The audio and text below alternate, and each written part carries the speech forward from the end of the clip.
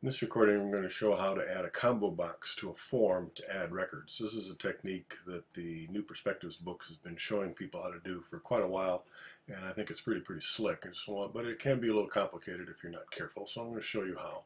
Once again I'm going to use my pizza orders database. If you haven't been following along with the previous forms uh, you'll probably be okay but I am going to be using form customer orders as a starting point so if you don't have that form, that might think, make things a little more complicated.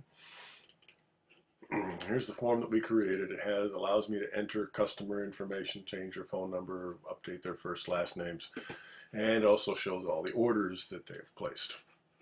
And as you navigate through, everything here changes. Uh, what the book recommends is you know navigating through. If I'm looking for somebody, somebody's order here, I could go next, next, next, next, next forever, and it could be kind of complicated to find it. Yes, I can do a find. Yes, I can do filtering to say only show me the orders for Volker Gaul, only show me the orders for Adam Sandler. That can help things. Another technique though is to add a combo box up here and pick the customer's name from that list.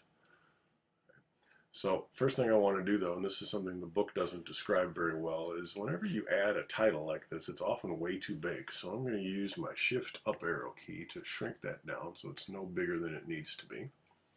And now I'm going to switch to design view because I'm going to add a combo box. And remember from the previous recordings that layout view does not give you access to these wizards.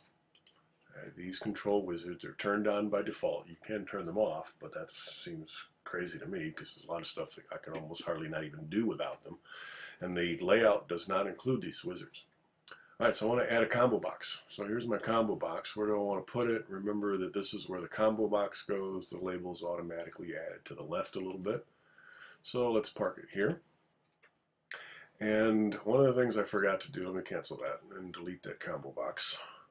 I forgot to check to make sure that my form's record source, so I'm going to select the form, that's what this button way up here at the top next to the ruler. And make sure its record source is a table and not a select command. If this is a select command, this technique of putting a combo box in the header doesn't work. So you need to make sure this is your primary table. And mine is now, so that's cool. So one more time, combo box, put it here. And if you don't have that set as a table, this third option doesn't show. I want to find a record in my form based on what I pick in this combo box. Next. Notice you don't get to pick which table, which query, etc this data is coming from. So we have to use the data that's on the form. I, I tried manipulating this a little bit using queries and it fails miserably.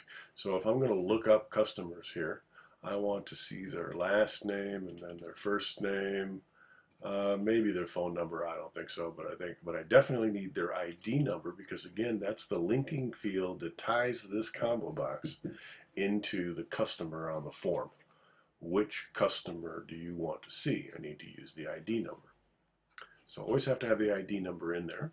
This is coming from a table, so access offers to hide the ID number. That's good. And these first name, last name are probably okay the way they are. I could probably shrink them down. I think they'll fit. Okay. Next. What do we want to call or what label do we want for this? I'm going to say select customer finish. And there's my combo box. Initially it says unbound, but that's only in design view. We'll look at it here in just a second. But this is a little out of alignment with that, so I think I'm just going to eyeball it here with my arrow keys. That looks better.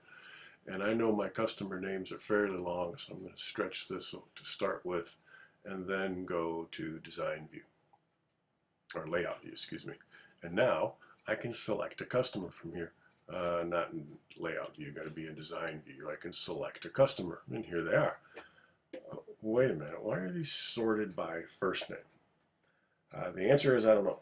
I don't know why these are sorted by first name, but I am going to show you in just a second how you can rearrange these. But let's take a look at how what Bill Gates has ordered by selecting his name, and notice the data here changes and the pizzas that he orders shows up.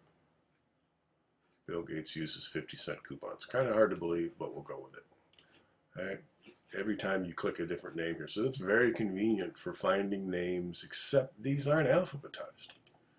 And the book doesn't talk about this, and the book likes to put ID numbers here, and I think their apps are absolutely useless. Because why would you know a tour's ID number? Why would you know a customer's ID number? You have to look them up. I look them up by name, right? not by ID number. I need to have the ID number to link it to the form, but I don't want to see that in here. But I don't like these sorted this way. The book doesn't talk about it because it doesn't have to.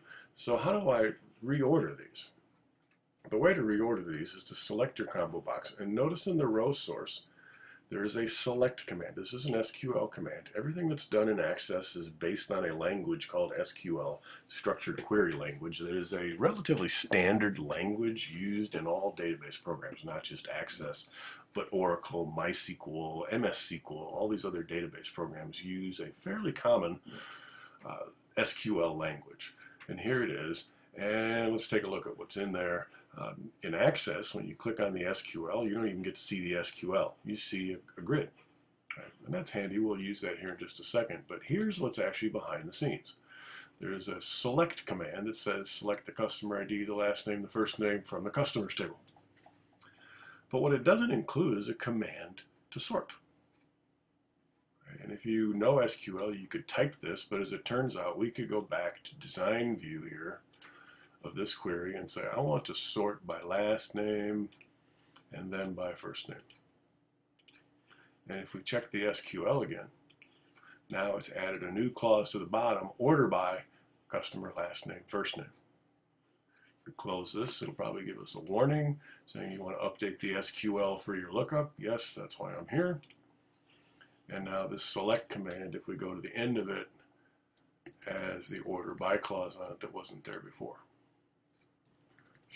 coming up next. There it is.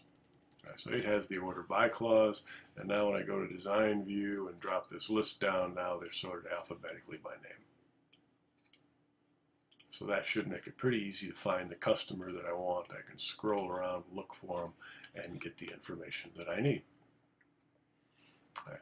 So this is a very handy technique, I think, for selecting things in a form. I've added it to most of my forms when I have access forms. Very convenient, quick way to select records, and not only the records, but the linked records in the subform at the same time.